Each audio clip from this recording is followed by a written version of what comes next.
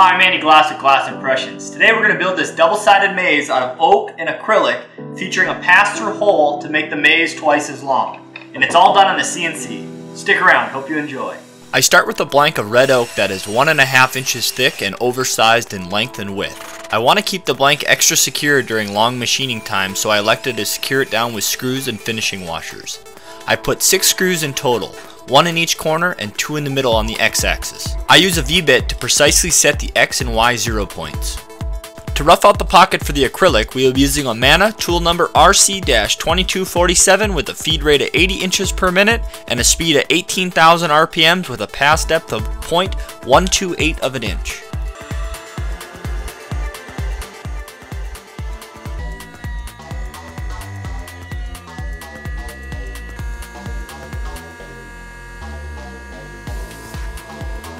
Next we are going to use Amana tool number 46316 with a feed rate 120 inches per minute and a speed of 12,000 RPMs with a pass depth of 0.25 of an inch. The first operation will be two 3 8 inch holes for a couple 3 8 inch wooden alignment pins. The second operation will clean up the rough pocket for the acrylic that we just completed with the surfacing bit. On the straight portions of the finishing pass, it is only taking 10 thousandths of an inch, and in the corners it is cleaning up the larger radius, so it is taking a little larger cut. To create the channel that the ball bearing will fit in, we use Amana tool number 46378 with a feed rate of 192 inches per minute and a speed of 16,000 RPMs with a pass depth of 0.1693 of an inch. The quality of cut with this 3 8 inch ball nose end mill was excellent. It created the path in three passes and also making a small pass on the other side of the pocket to make it a bit wider to give an allowance for the 3 8 inch ball bearing. It is important to clear the dust and chips on these deeper pass operations. With my dust boot removed for video purposes, I use my shop vac to clean up the dust and chips.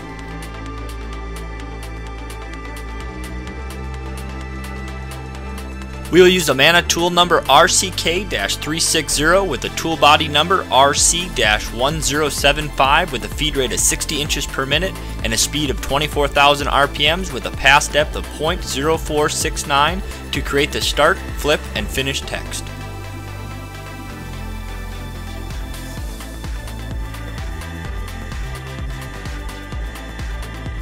With the top side completed, we can clean up our CNC work area and remove as many dust particles and chips as possible before removing the workpiece.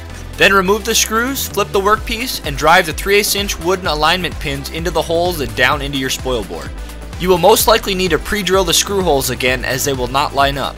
Then screw down the workpiece again and do it all over.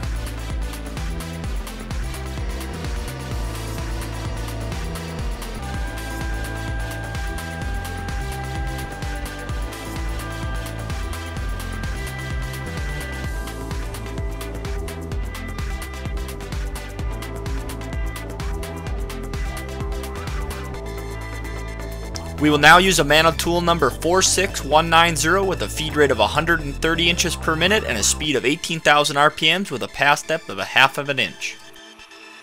We will use this hefty bit to create the pockets for the handholds and also create the profile operation using four tabs to keep the finished workpiece in place.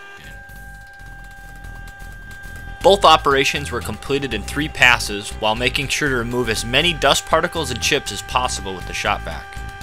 You will also notice I removed the middle screws as they would be hit by the outside profile operation. I replaced them with aluminum hold downs.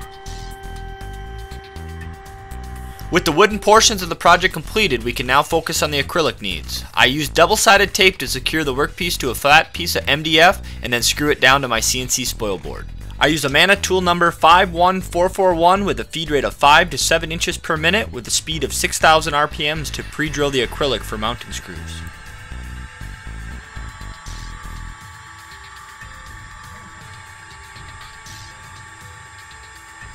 I use Amana tool number 51405 with a feed rate of 50 inches per minute and a speed of 9600 RPMs with a pass depth of 0.122 of an inch to make the profile cut on the acrylic. I use the same ramping and lead-in technique we used earlier.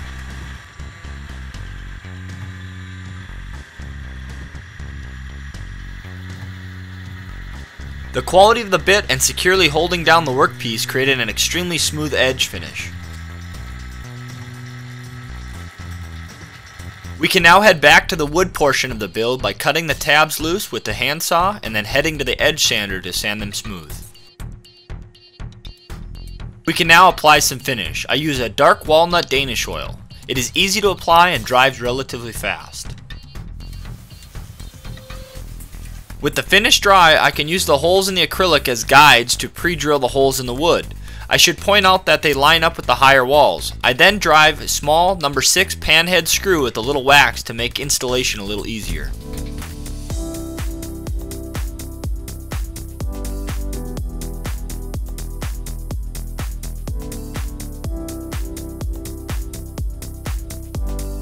I hope you guys enjoyed this CNC project. If you have any questions or comments, please leave them below. A big thanks to toolstoday.com for sponsoring this build. If you guys enjoyed this video, please smash the like button, share, and if you haven't already, please subscribe.